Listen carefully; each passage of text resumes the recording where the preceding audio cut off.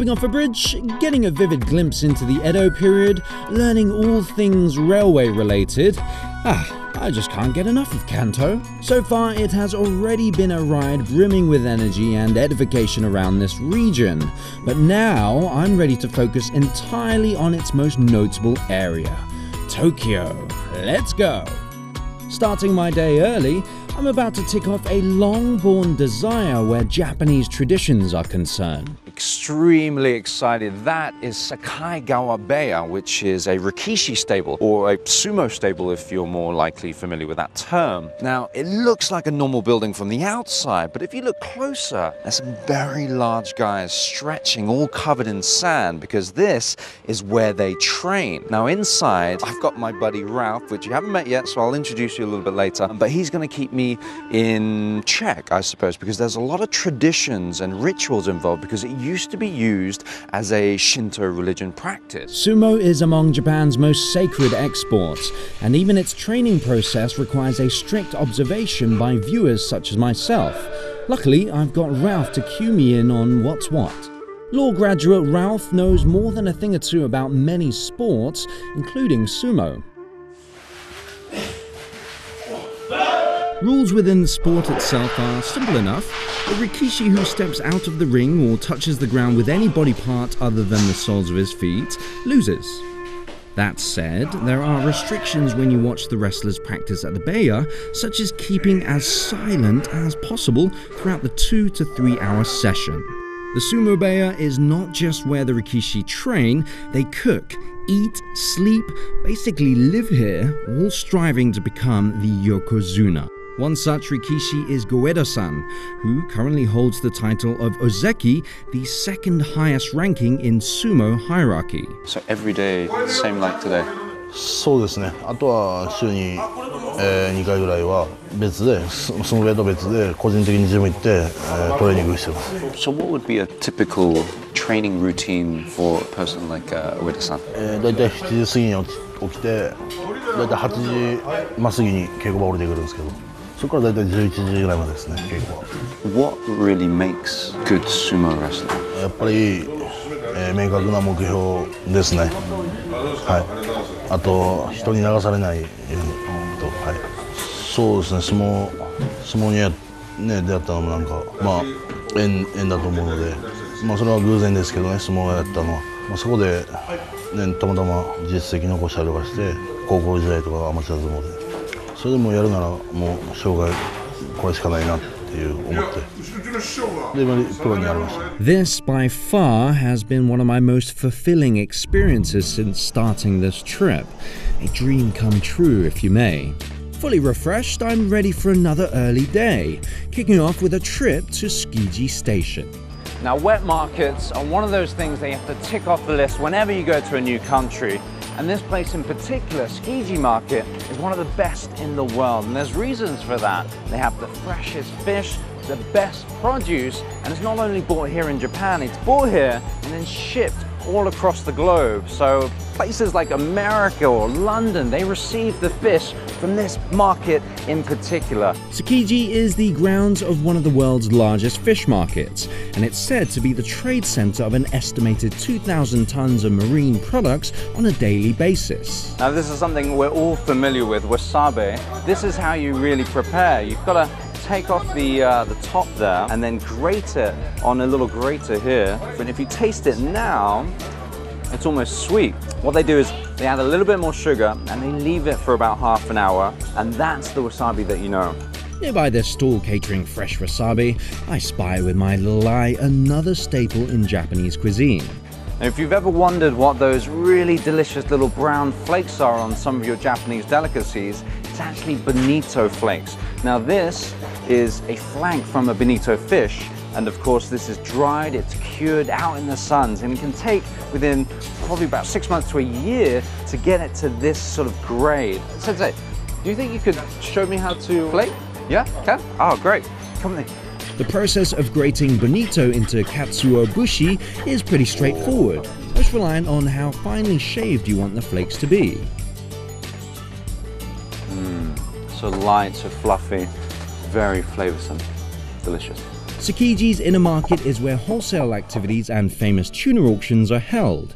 I don't get to partake in the auction, but I do find a restaurant where its chef offers me an up close look at cutting the maguro. Wow, look at this. Master swordsman here. That looks extremely sharp. How much does this tuna weigh? 42.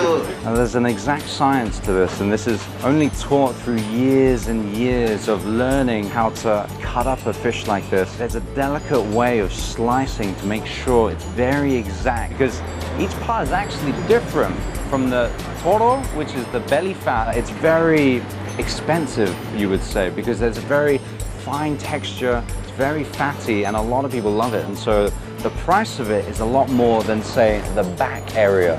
Filleting tuna is no easy feat, as it takes years of experience to maneuver that maguro knife over the whole fish. And the name of this? Nakaochi. What he's got me doing is skimming this little bit of flesh in between the ribs, and it comes off in these perfect slithers, which looks so appetizing. Feeling I might fare better with a smaller chunk of maguro with a shorter blade, I try my hand at slicing the tuna and making a maguro nigiri. As it turns out, Okay. Oh my god, this is a lot harder than it looks. Enjoy your meal.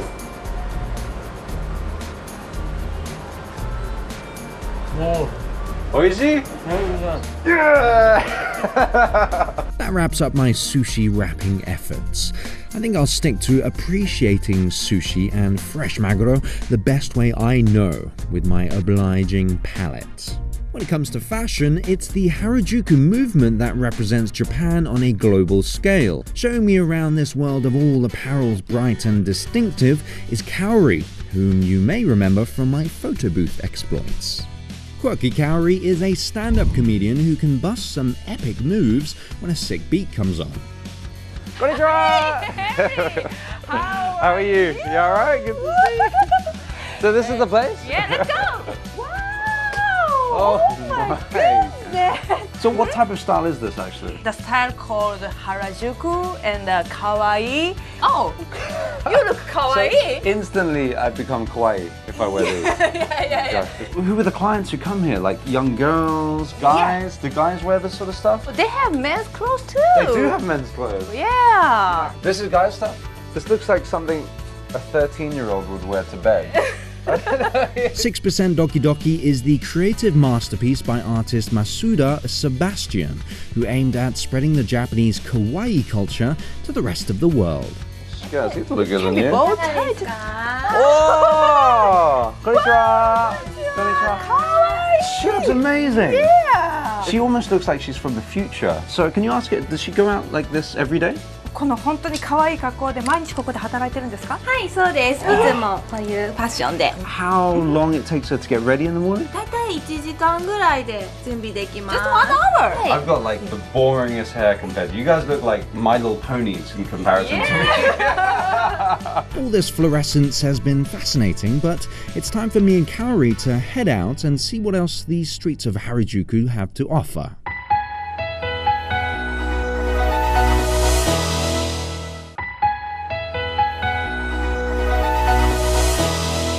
With nothing solid in my plans for the day, I head to the hub of all hubs to see where today's wind takes me. I've got with me a Suica, a prepaid card in lieu of a ticket from the vending machine. Not only can I board JR East trains with it, I can use the Suica on buses and subways, and even drinks and newspapers. Talk about convenience. Amongst the world's central train stations, Shinjuku here is probably one of the more popular and most famous, and it epitomizes the hustle and bustle of Japan and all of its urban population, because Shinjuku is the epicenter of the train routes here in the city. I can virtually head anywhere from here, and I know just where to go. Look at that! That is huge! This is Musashi, or more commonly known as the Sky Tree, which is located in the wonderful city of Tokyo. It is the largest broadcasting tower in the world, and it stands at a whopping 634 meters. I guess there's nothing else to do than go up and take a look. With a large shopping complex at its base, Tokyo Skytree was opened in 2012, making it Japan's tallest structure and the tallest self supporting tower in the world. Let me get up to these really tall buildings. You sort of have that stark realization of how tall it physically is. I mean, we're only at 350 meters, so it kind of puts everything in perspective. Everything's so tiny. You can kind of see the Tokyo Tower in the distance there. And I always thought that was really big. But we are towering over it. Stunning. It really goes into play the, the planning of Tokyo City. It's all very, I suppose, correct. Everything kind of works. The river meanders through the kind of central business district over there near the ports. Appreciate Tokyo a lot more from up here. On the Tembo deck at the 350th floor, obsess over the touch based Tokyo space time navigation system that displays brilliant panoramas of Tokyo's landscape with useful information on locations. Is that nifty or what?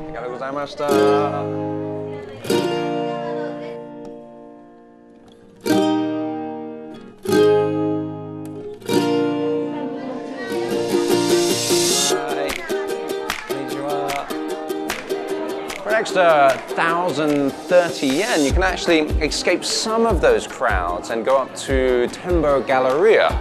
Now, it's a different view. This platform here is 445 meters, but actually slopes upwards. So you gain another five meters, which means I should end up at about 450 meters. Now, this is a different view altogether because kind of got this airwalk sort of feel to it where you can look down all the way to the street level. It's a little bit more kind of skylighted actually. You can actually see where I need to be next. Tokyo Dome, uh, just shining that brilliant white roof. I don't want to be late, so uh, better get down to earth. It's nice up here though, isn't it? Japan's most popular sport is baseball, and this is the ultimate place to watch the game in all its glory the Tokyo Dome. I'm catching a big game here with Ralph later on, but first, I'm going to kill some time with Kaori at the Dome's other attractions. Okie dokes. This is it. Nice. Mm. So Ralph's going to be bringing me to the big Giants game later on, but Kara and I thought we'd see what else is on offer around Tokyo Dome. All right, let's go straight to the batting cage so I can see how good you are at it. Ah. And I think maybe we can have a little wager on who's better. Oh, as in the competition. You're right. As in the winner has the bragging rights for the rest of the trip, mm-hmm. and the loser has to do something very Yeah, horrible. exactly. I like those odds. There are loads of things to do here at the Tokyo Dome, and our choice of competition is the hyper realistic batting cage. Three speeds for the mechanized pitches. Of course, we agree on the lowest since we're amateurs. You gonna go first? All right, okay, okay. Take this, take this, take this. Let me get the helmet, let me get the helmet. All right, Carrie, it's on like Donkey Kong. Nice! Good job. All right, my turn, my turn. Yes, I'm a champion.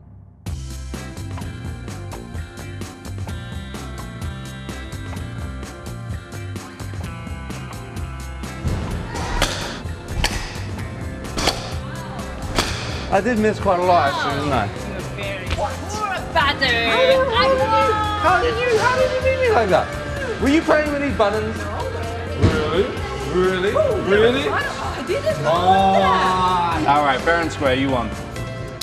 I know Good job. that. Hmm, I guess Carrie can always take up baseball if she's bored of stand up comedy. Can't believe I lost the bet, but. Ah, gosh. It's time for the real deal Tokyo Yomiuri Giants versus Yokohama DeNA BayStars. Japan, as a culture, why are they so passionate about sport like this? It is said that after the World War II, people were kind of depressed and you know under pressure. That this baseball did gave them big hope Yeah. and big courage in order to you know rise up again. So it's quite an integral part of getting everybody back together, Right. that camaraderie. Otherwise, you won't get like 55,000 every day. It's okay, give me a brief outline. Because I'm familiar with a few sports, just Sure. some of the, the bat and ball games, Right. they're very complex. Right. Simple as A team, B team. Each have nine players on the field. Right. As you can see, one pitcher and one catcher. Infield people. Yeah. There are one, two, three, four. Very close one here is called the first stop. That's why he's a first. Then there's next one at the second. Right. And then third base. And then you go this home base. And the pointing system, Right. which is super difficult to understand, I think. As you can see on the scoreboard, you see the watch, Okay, yep, and yep, there's yep. B, S, O, right? Ah, and yes. B is called the ball. Ball means it's outside, no good. Okay, okay. S is a good ball. Right. And out is the out counting. As soon as they hit, they're gonna run as fast as they can to the first base. There we go. you hit it. And the center field catches. Now the light's gonna be on one out as a because it wasn't out. Right. Right. Okay. and so, okay, we're sat watching Right. the Giants obviously play, but I need some like cat calls or some Right, songs. right, Uh, right, are there- right. do, you, do you know anything Now, that I can sing? Okay, one thing we can say is if the Giant hit a home run, then it's time for this orange towel. You Uh-huh. see the whole stadium people, supporters, fans, Just twirl it. And look at they shout. just oh.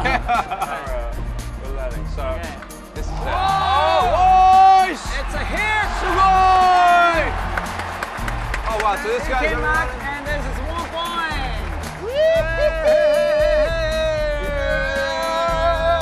Giants, Giants, Giants!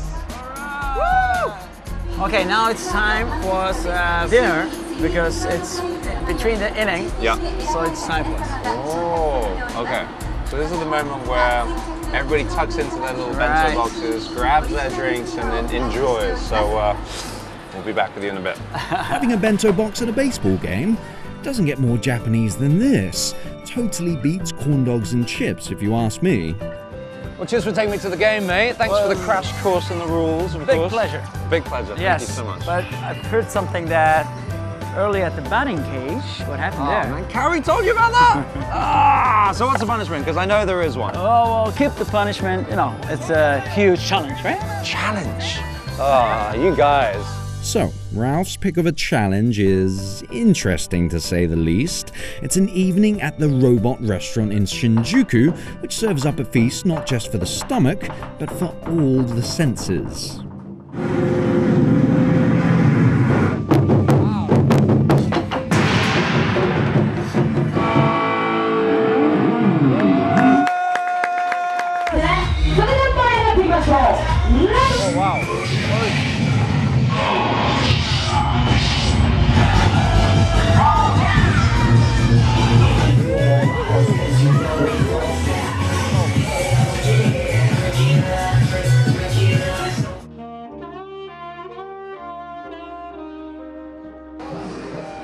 What have I just watched? I have no idea how to explain this, but I think coming with up with a metaphor is, is, is a challenge in itself. I think I've been stranded in a desert island for about a week, been slapped repeatedly in the face by a Christmas tree for the past half hour, and that just comes to the tip of the iceberg of what to experience here. But I think, I reckon I could squeeze one more show in.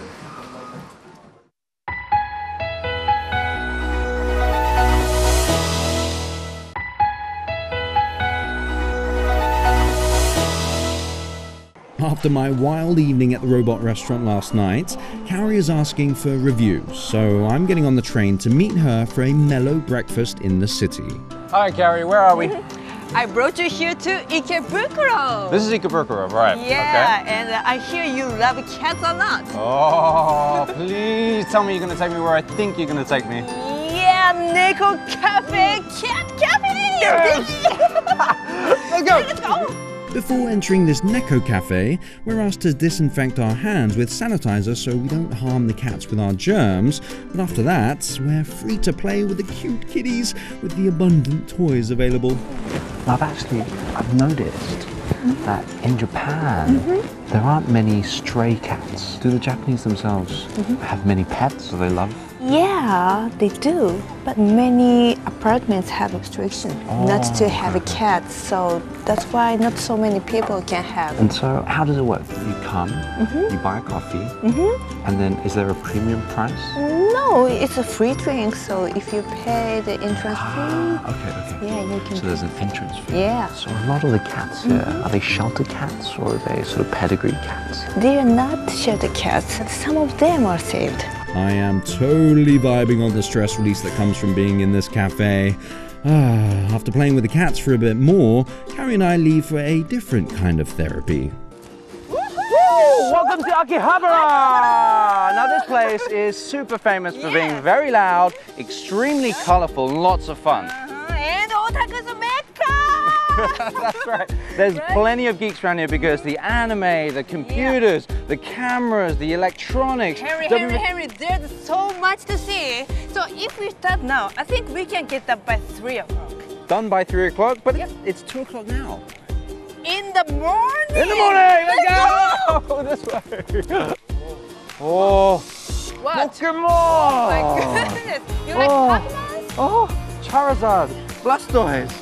Which one? Also known as the Holy Land for geeks or otaku, Akihabara is a mecca of technological gadgets galore. I got a question. What? I've seen these everywhere. All the Japanese have these phones, but it, it looks just so simple, so old. Anything special? Not so old, but uh, we call them Gala-K. This is the yeah, very basic phone though. Okay. Yeah, it is easier for us to put the language and cheaper to make a call. What is this? It's the exercise machine for mouth. Oh. More, more, ah. yeah. Harder, harder, harder. An hour of shopping soon turns into three, and before Carrie and I know it, evening has fallen.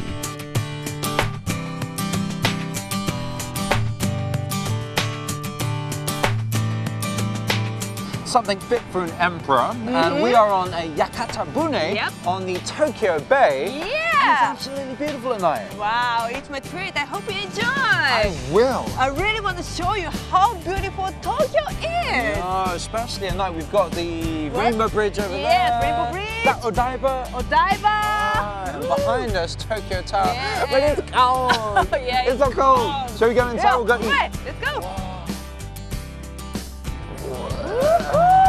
Water inside. Yeah, there are many Ah, delicious. things Look at to this. eat. Absolutely Ooh, it amazing. seems so delicious.